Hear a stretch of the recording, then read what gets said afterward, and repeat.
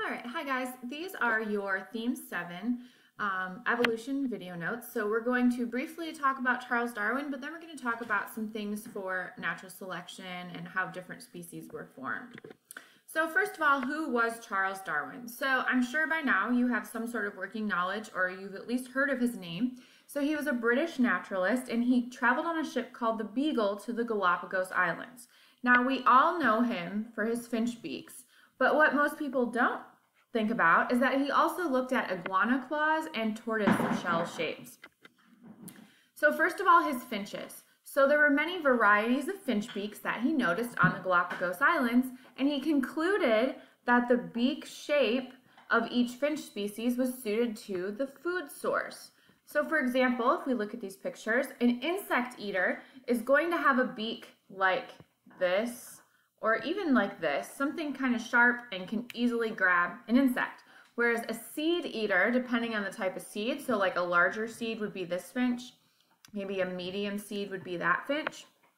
But the type of beak is going to allow that finch to be successful and get the most food.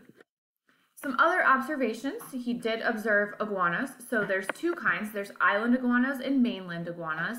He noticed that the island iguanas, like this guy here, had very large claws. So they're on the beaches, they're climbing rocks. It's important that they don't slip. Whereas the mainland iguanas that were living in trees have very small claws. So this helps them climb the trees and be successful. So in general, Darwin's conclusions was that species generally change over time to adapt their environment. And this is essentially the working definition we have of evolution. So in terms of an adaptation, this is something that helps an organism survive and reproduce. So his theory is that species change over time, and this is based on all of his observations, his evidence, and everything that has continued to be observed over time. So when we talk about survival of the fittest, this is something you commonly hear. We jokingly will say it in our everyday language, and then of course you hear it when we talk about evolution, but what does it really mean? Now, for example, this is kind of a funny comic, but you see a beaver and he has a chainsaw as a hand. Well, obviously that beaver, if this actually existed, would be much more successful at cutting down trees than this guy over here that's using his teeth.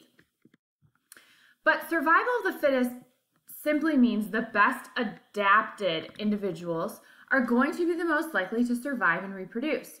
So in terms of the phrase natural selection, which is a word that we hear all the time as well, this is that the environment selects the best adapted individuals, but it does not mean strongest. There are some species of fish, for example, where the large males are slow moving and the wimpy little males are teeny, but they can swim fast and they swim in and they actually fertilize the female fish's eggs before the strong male can get to him. So it doesn't necessarily mean strength. Just because you go to the gym five times a day doesn't mean you're necessarily fit. Whereas like Octomom that had eight kids is technically more fit than someone like that because she's passing on more of her traits. So what affects natural selection? So there's a few things we're going to talk about. The first is the concept of overproduction. So there are many, many species that produce more offspring than will ever survive. And this also introduces competition. So even within, say, all these turtles down here, the first turtles to make it to the water are going to not be as prone to predators on the beach, but then once they get to the water, there's predators in the water. So the ones that are best adapted, the fastest swimmers, the ones that get out to safety the, the quickest will be the ones that will survive. Whereas the slow ones, they're getting picked off. So you also see this in trees. They produce tons of seeds. And check out all these frog eggs over here. Reintroducing then competition. So, of course, organisms are always competing for resources, whether it be food, territory, water, shelter, they're always competing. So, there's two types you need to know about. The first is intra-specific, and this is between individuals of the same species. So, you see this down here where you see two bucks fighting. They're more than likely fighting for territory, access to mates, etc. The other type is interspecific, and that's where you see here, this is competition between different species. So think about in Africa, for example, watering holes are very, very important, but it's always a fight to get there. And then of course there's predators in the water. So there's always that competition for a safe spot and the water. Finally is genetic variation. So the differences in general between individuals look around, right? You look different from your mom, different from your dad, different than your siblings, your cousins, your friends. You look different because everybody has a little bit of variety.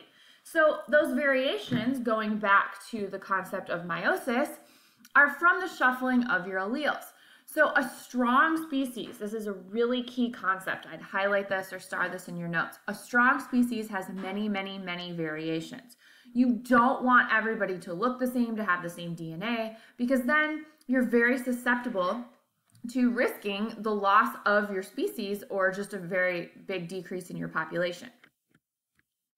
So there's three types then of variance in a population. So as we talked about, everything looks different, but different types of selection can affect what genes are expressed within a population. So there's three kinds we're going to talk about, and I have graphs to go along with each of these. So the first being stabilizing selection. So this is where the average phenotype is favored. So the extremes are not favored in this population.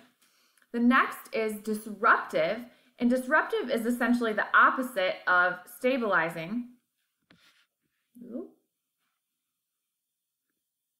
All right, sorry for the blip there. Um, PowerPoint crash. So we were talking about the different types of variants. So we have stabilizing selection, which is where the average phenotype is selected for. Then you have disruptive selection, which is where the extreme phenotypes are more favorable in a population. And then finally, you have directional selection, which the example we'll talk about with this is something that you're probably familiar with. And this is just where the population in general shifts one direction or the other. So let's look at some graphs. So first of all, what type of selection is this? So as you see, the dotted line was the original. Now we have extremes. So this is disruptive.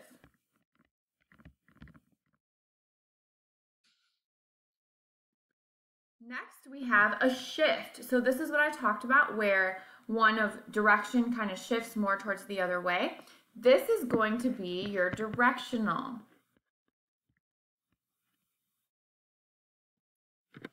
And then lastly, we're selecting against the extremes in favor of the median. So this is, I'll write it here, stabilizing.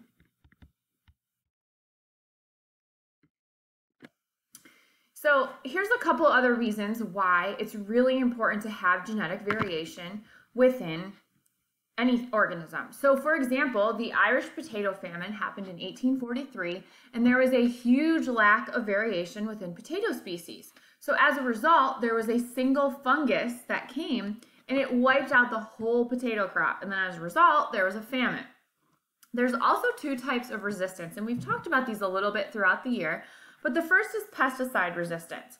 So the issue here is that pesticides are used on insects, but there's insects that survive the administration of these pesticides, so they reproduce and then they have more insects that are resistant. So then it results in needing a stronger pesticide, and then you have insects that that still survive and reproduce again, then you need another stronger one. So it's just this continual process. That's also evident here in antibiotic resistance. So bacteria typically reproduce asexually, but they can swap DNA in stressful environments, which is, for example, when you're using antibiotics if you're sick. So this is why it's important to always take all your antibiotics. If the doctor says 10 days, do it 10 days. Don't stop after three because you feel better because guess what? The only bacteria you killed were the weak ones. The strong ones are still there and they'll probably come back and make you sicker. And this is also how we evolve in superbugs as well. So there's four pieces of evidence for evolution that we're going to discuss. So the first being fossil record. Fossils are very important. From a little kid, you know what a fossil is. It's a record of your extinct species. And there's two types of dating. So the first being relative, which is approximate age, and the second being absolute, which actually uses isotope decay to measure the exact age of the fossil.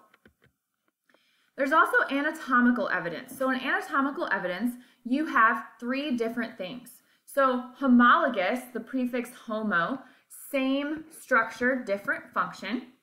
Analogous is the opposite. You have a different structure now, but a same function.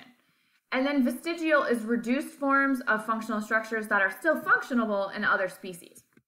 So for example, your homologous structures, remember this is same structure. So if you look here, the human, cat, whale, bat, they all have the same bones, which are color coded, but they're all used for vastly different things. So that's where your different function comes in. Analogous is the opposite. So this is different structure. So if you think about it, right?